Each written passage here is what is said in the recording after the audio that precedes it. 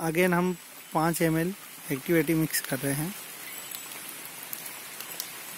बस।